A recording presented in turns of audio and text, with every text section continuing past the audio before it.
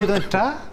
No, nosotros no tenemos ¿De ninguna ningún manera? para, para un plebiscito de entrada. ¿Es preferible llegar a un acuerdo? Si, te- si es el último ratio, sí, no tenemos ningún problema. Y si no hay acuerdo es una opción. Un plebiscito de entrada comienza a asomar para algunos como una opción si no se sella un acuerdo para un nuevo proceso constituyente, pero para ello se necesitan de cuatro séptimos en el Congreso. Si no tenemos acuerdo, que sea la ciudadanía la que decida en un plebiscito de entrada el mecanismo por el cual debe continuar este proceso constituyente. Los, los problemas de la democracia se resuelven con más democracia y yo creo que no va quedando otra opción que plantear un plebiscito en marzo. Si sigue la intransigencia, si sigue el tutelaje, si sigue amarillo de caballo de Troya de una posición absolutamente eh, pro- de democracia protegida, bueno, claramente no vamos a llegar a acuerdo.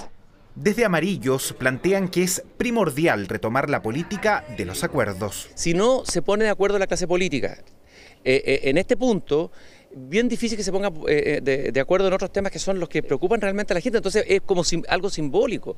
Hay que llegar a acuerdo, tenemos que re- revivir el espíritu de los acuerdos. Las posturas de las distintas fuerzas políticas se cierran en torno a un órgano mixto y a uno 100% electo. La oposición insiste en que los expertos sean designados por el Congreso.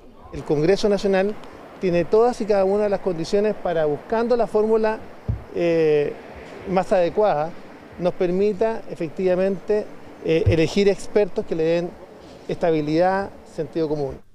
¿Y la posibilidad de expertos elegidos por la ciudadanía?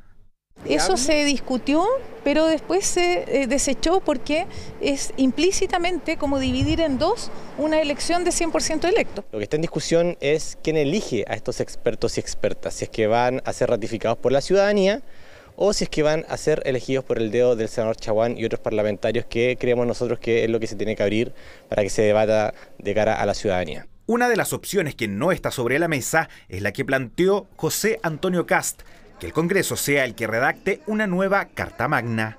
que el Congreso proponga las modificaciones que estimen convenientes, se vote ahí, el Parlamento hoy día tiene la representatividad y la legitimidad necesaria para hacerlo y después eso se plebiscita a la salida. Las conversaciones se retoman la mañana de este lunes, aunque con rígidas posturas e inciertas posibilidades de arribar a un acuerdo.